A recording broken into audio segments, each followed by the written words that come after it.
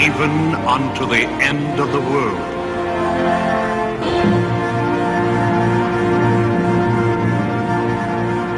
After Jesus died and was resurrected, in your own words, what happened then? How did Christianity begin to spread? Uh, Christianity spread from Pentecost on, I guess you could say. And it was through the power of the Holy Spirit, I believe, that the word of the gospel spread.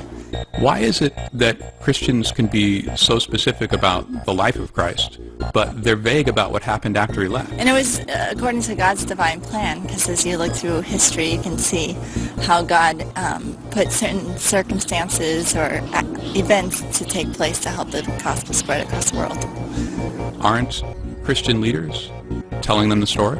Do you know much about how Christianity spread in those early days?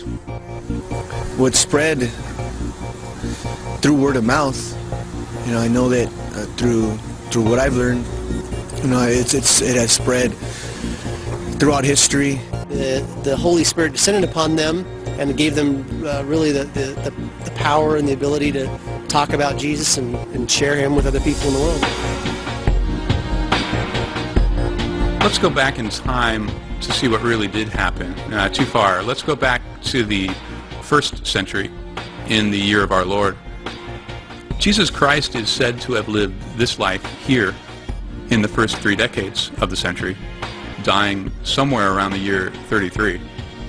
The Gospels all came later. Mark was the first one written, and the other three are clearly derived from Mark. Mark mentions the destruction of the Jewish temple, which happened in the year 70. So the Gospels all came later than that, probably much later. There's a gap of four decades or more. Most of what we know about this period comes from a man who says he saw Jesus Christ come to him in a vision. He was the Apostle Paul, formerly known as Saul of Tarsus. After many days of hard traveling, Saul's caravan was near its destination, Damascus. The journey was nearly over. Then suddenly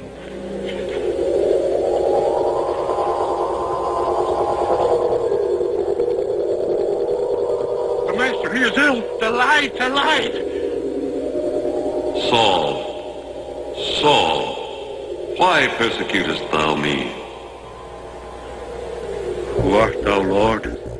Paul says the Lord told him to start spreading the word of Jesus Christ, and he did it with a vengeance. Your heart is not right before God. Repent, therefore, of this wickedness of yours, for I see that you are in the bond of iniquity. Paul was a bit of a scold, but the salvation he offered through the God he called Christ Jesus was very popular. He traveled widely and in his wake left behind groups of new Christians who formed the early Christian church. Paul wrote lots of letters about Christianity. In fact, he wrote 80,000 words about the Christian religion. These documents represent almost all we have of the history of Christianity during this decades-long gap. And here's the interesting thing. If Jesus was a human who had recently lived? Nobody told Paul. Paul never heard of Mary, Joseph, Bethlehem, Herod, John the Baptist. He never heard about any of these miracles. He never quotes anything that Jesus is supposed to have said. He never mentions Jesus having a ministry of any kind at all. He doesn't know about any entrance into Jerusalem. He never mentions Pontius Pilate or a Jewish mob or any trials at all. Paul doesn't know any of what we would call the story of Jesus except for these last three events. And even these, Paul never places on earth. Just like the other Savior gods of the time, Paul's Christ Jesus died, rose, and ascended all in a mythical realm.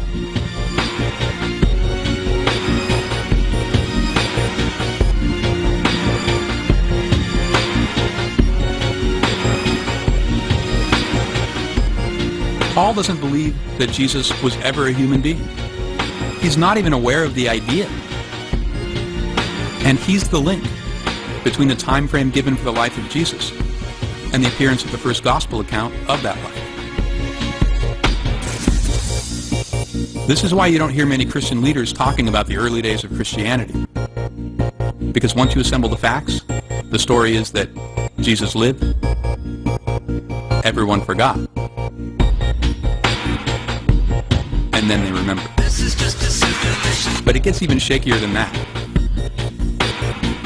Allegorical literature was extremely common back then.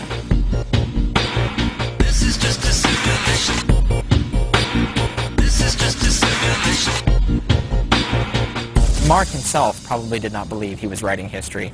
He was writing a symbolic message. He was writing a gospel, you know, the good news, and symbolizing it using, uh, you know, biblical parallels, using parallels to pagan religions and so forth. There are these other gospels, which, and there are the Apocrypha, after all.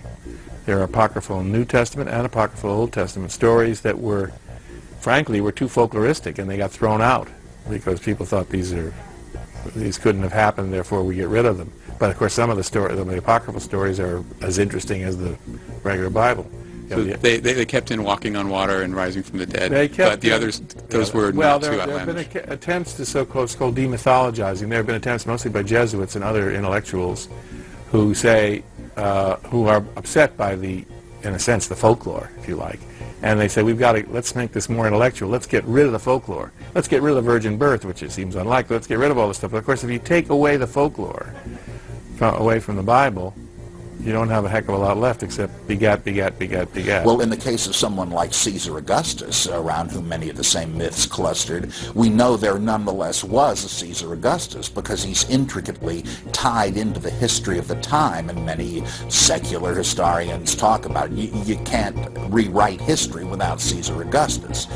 But uh, at the very two points, Jesus appears to be locked into history. These stories are, either still mythical, like the slaughter of the innocents derived right out of the book of Exodus, or they, they contain outrageous improbabilities, such as the, the Jewish Supreme Council meeting on Passover Eve to get rid of this guy. It's just out of the question. Or Pontius Pilate letting go a known killer of Romans, an insurrectionist, Barabbas, and just letting Jesus uh, be thrown to the mob uh, after, however, trying to get him off the hook as if he has to uh, have a vote on it. It just defies any kind of historical verisimilitude.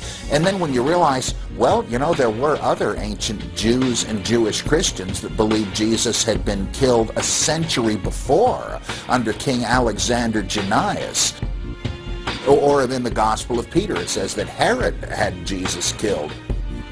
Well, what? How could this be uh, a matter of, of such diversity if it was a recent event that people remembered? It just begins to make you wonder, is this man really part of a historical time stream? Or does it, doesn't it begin to look like someone has tried to put a, a figure, originally mythical, into a historical framework and made various stabs at it? You know, I'm not surprised the Illuminati had to keep it a secret. I'm surrounded by fucking idiots. Jesus, Jesus fucking. Fuck